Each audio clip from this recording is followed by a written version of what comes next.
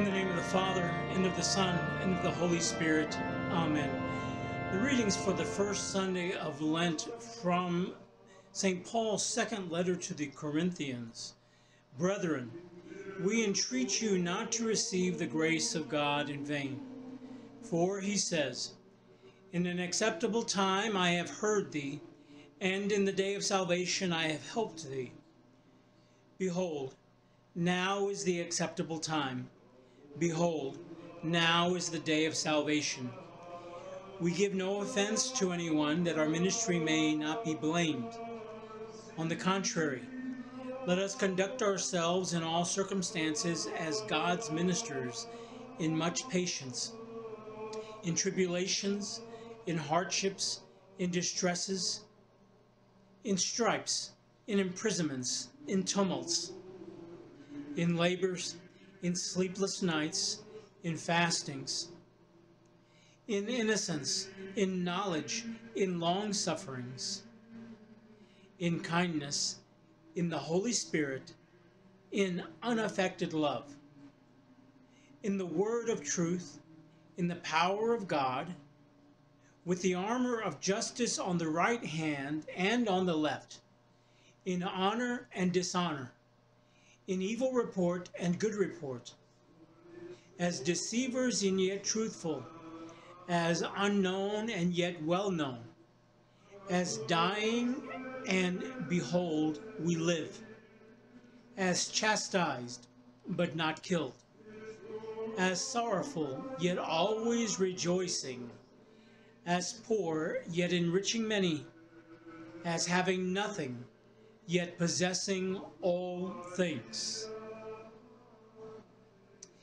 The Holy Gospel is from St. Matthew.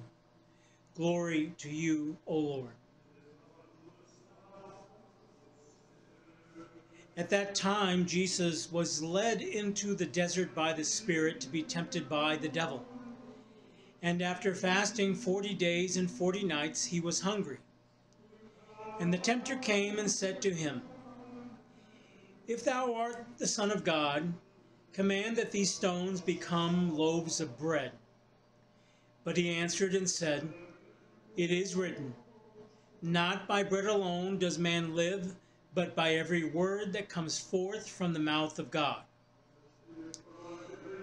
Then the devil took him into the holy city and set him on the pinnacle of the temple, and said to him, If thou art the Son of God, throw thyself down. For it is written, He has given his angels charge concerning thee, and upon their hands they shall bear thee up, lest thou dash thy foot against a stone. Jesus said to him, It is written further, Thou shalt not tempt the Lord thy God. Again, the devil took him to a very high mountain and showed him all the kingdoms of the world and the glory of them. And he said to him, All these things will I give thee if thou wilt fall down and worship me. Then Jesus said to him, Begone, Satan, for it is written, the Lord thy God shalt thou worship, and him only shalt thou serve. Then the devil left him, and behold, angels came and ministered to him. The gospel of the Lord. Praise be to you, Lord Jesus Christ. By the words of the Holy Gospel, may our sins be taken away. Amen. Well, just like that, dear friends, here we are in the first week of Lent. And um, we here in Detroit, uh, you may have read, have had um, a terrible storm over the last week. So our beginning, um, you know, like, you know, it happens, natural occurrences. But for me, I want to share for you, for me, um, I don't know, I, kind of what my thoughts were. Um, because I had thought about coming uh, and bringing a short sermon for Ash Wednesday, but God had other plans, and we happen to have lost electricity here in uh, most of Detroit.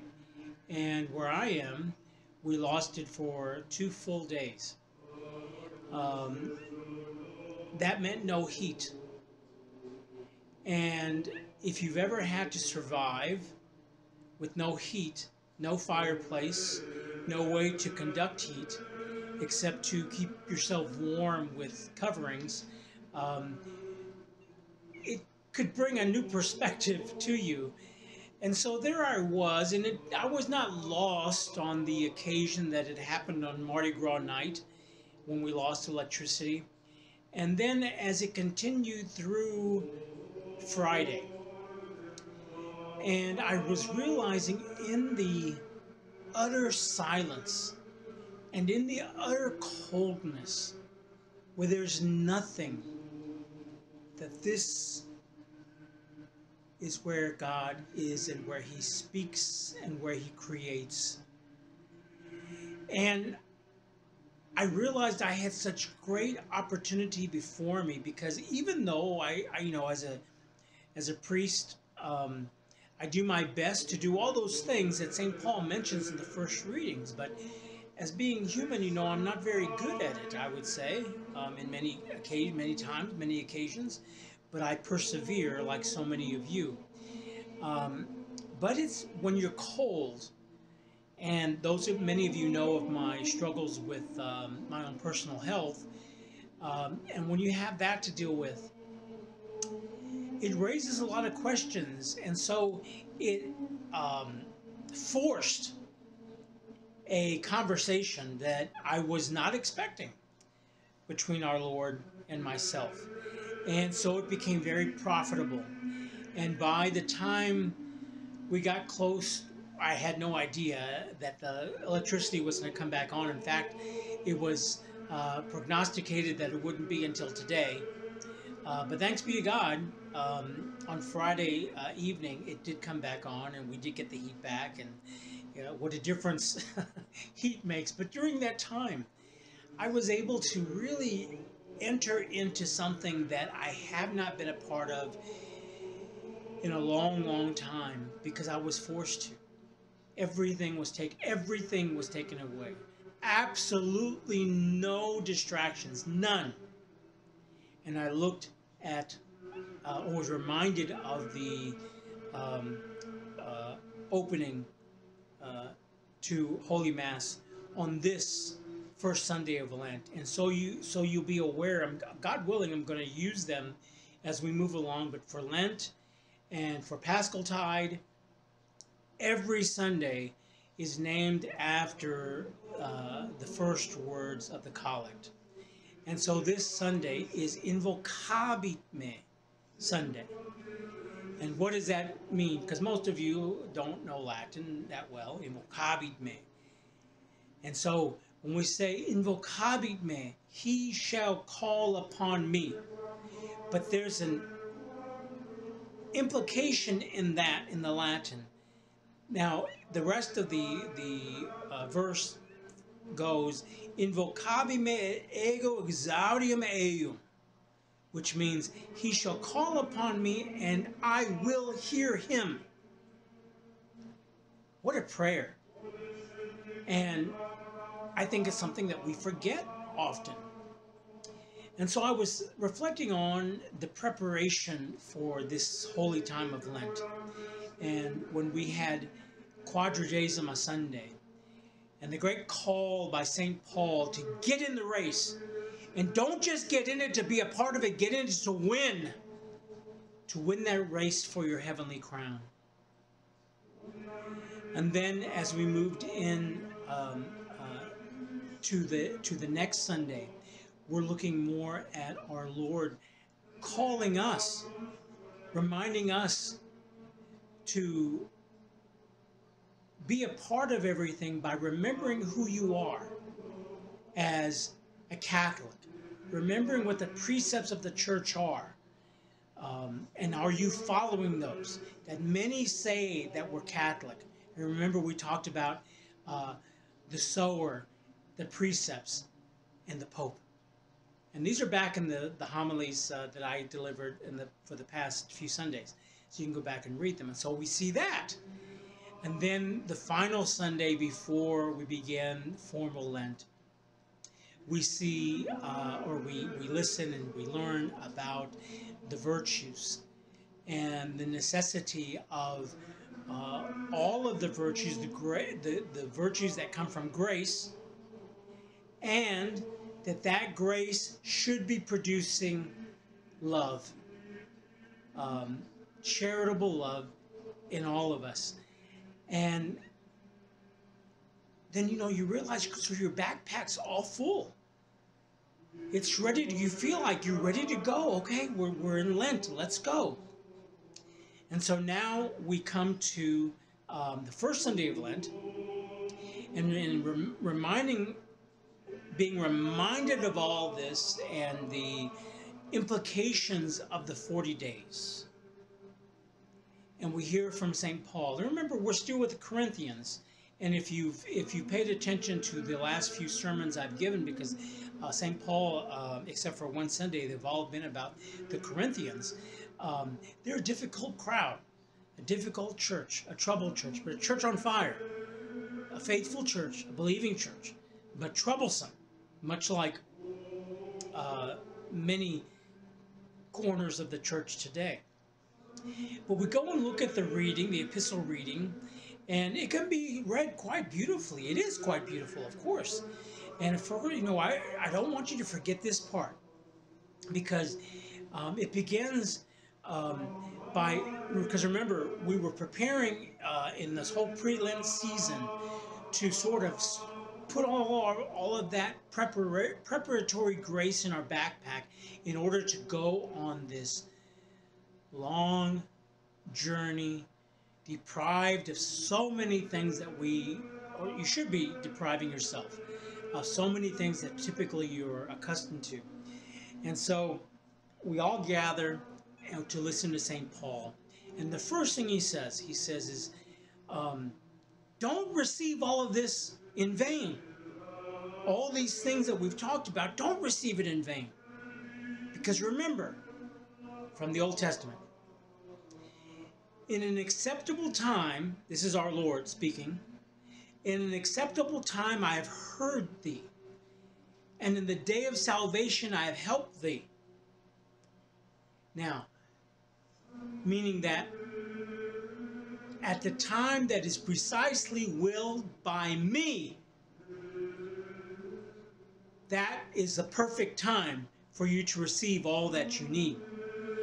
Behold, this is the next line from St. Paul.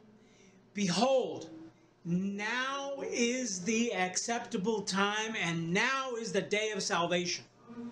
So, what he's saying to us is that God, who never uh, lets us down on his promises, on that promise that he gave to his people, that he said that there will be an acceptable time and I will hear you, and there will be a day of salvation and I will help you.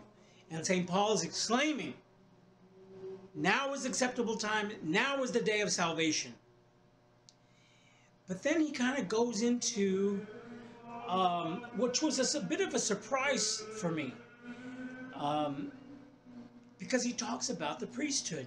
Now, many read this as um, a sort of uh, script for the Christian community. And that's fine, because it can be read that way. How we treat each other, how we should receive each other, how we should react and, and be with each other. But this is really about the priest and the priesthood and how he ministers, because he says, We give no offense to anyone that our ministry may not be blamed. In other words, I'm giving you the truth. I don't mean to offend you or anybody. But the truth just might offend you, but don't blame me. In the sense that don't I'm not trying to offend you. I'm just giving you what you've asked for, which is the truth.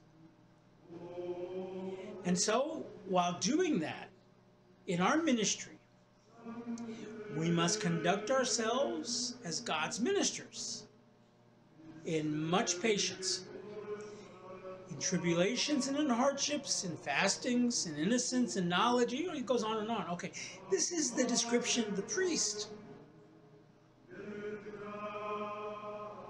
And these are what we are supposed to carry with ourselves every day in order to properly minister to the people of God. And when you look at it, it's a quite beautiful reading, but it makes you and it help it should help you to understand um, the contradictions of life that a priest goes through every day.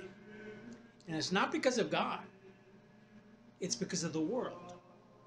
You know, we all grew up in the world. We all live, have lived in the world. We have been part of the world. And so we all enjoy things of the world.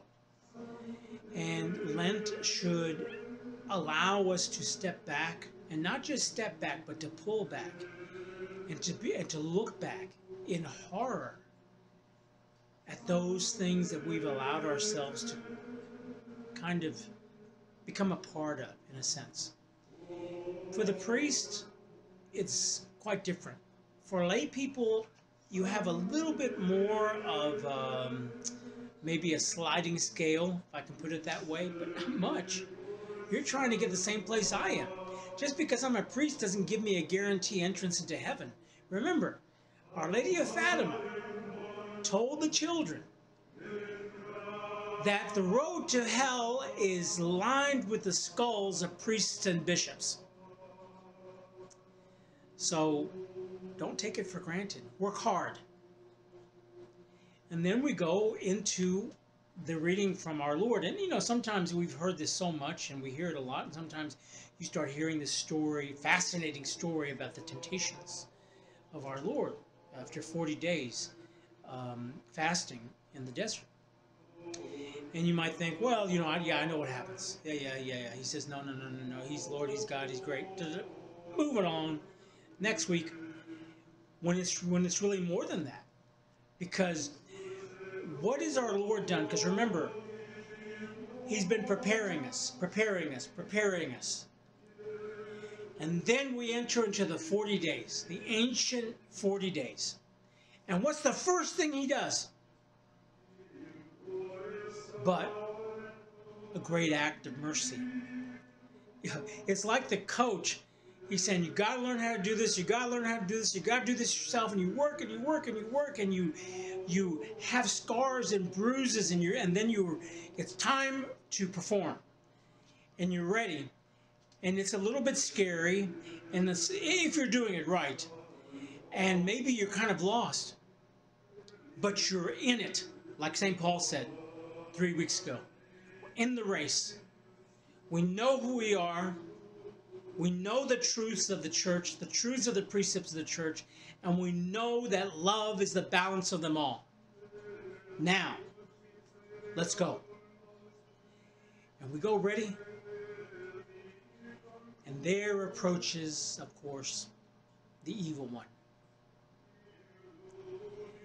And maybe we're ready. Maybe you might say, okay, I know that fasting will help me in this struggle, whatever it is. And we're trying. We're working hard, just like St. Paul asks us to, to enter into working hard. And maybe it's difficult, and maybe we want to give up. And what happens? Our Lord steps into the breach to take it for us. And he first responds to the evil one. And in the end, he, he, he takes all that Satan brings and dismisses him in an instant. And remember, that the evil one is constantly saying, if you are, because he doesn't know. He has not been given that foreknowledge to know. And so it's the same with us. And he says, if you are a real, true follower of Christ in his church, you will, and you fill in the blank. And you may think, like I have many, many years, like I have thought of so many lengths, so many times that we've gone through this, you may think that's not that's not enough. You know, as to refuse as our Lord refused, it's too hard. The temptations are too hard. And they are, because we live in the world. They are very difficult. And the concupiscence, which is our um, the concupiscence that we all are left with after uh, baptism, which is our fight of the flesh against the spirit, that remains. But our Lord gives us the proper, resolute answer no. No, and no again. Get out. Now, again, it's not always that easy. But He did it first, He did it for us. In His great mercy and His great love, He has taken all that He's tried to teach us and been the example once again for us.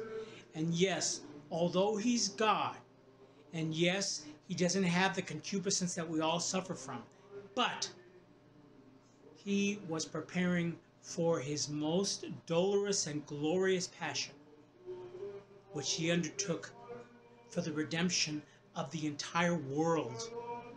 And all he's asking is for us to join along with him. Can you do it? Will you do it? Will you show mercy as he has shown mercy? Will you show love as he has shown love? Let us together walk this dolorous passion with our Lord as we continue on this Lent in the first week and don't give up. Be strong. Move forward. And always remember that He does it first. And He does it always first with mercy and with love. God bless you and God love you. In the name of the Father, and of the Son, and of the Holy Spirit.